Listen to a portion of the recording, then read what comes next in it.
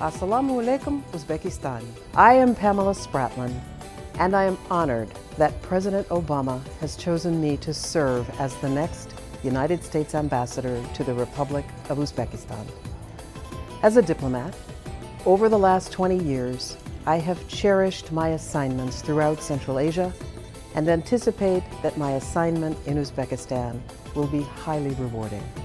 The United States is committed to working with Uzbekistan. Together, we have supported security in the region, developed economic cooperation, and strengthened educational and cultural exchanges. As ambassador, I look forward to enhancing the relationship between our two countries. Uzbekistan, like America, is a multicultural society that is strengthened and enriched by a diverse population. This makes for more interesting life and often leads to innovation and solutions to complex problems. In 2008, I had the pleasure to visit Uzbekistan. My fondest memory is of the country's stunning natural beauty and rich history. I am excited to visit your ancient cities, snow-capped mountains, fertile valleys, and most importantly, to meet many of you. See you soon. Kurish.